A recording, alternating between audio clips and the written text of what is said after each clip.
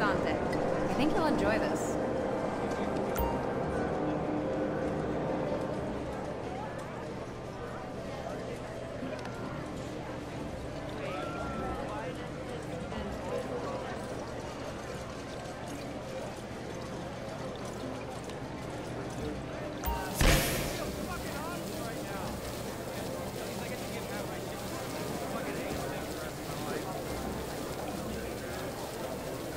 Okay, time for the next question in the groom quiz. We asked Jason, where was your first kiss? Uh, at the mall?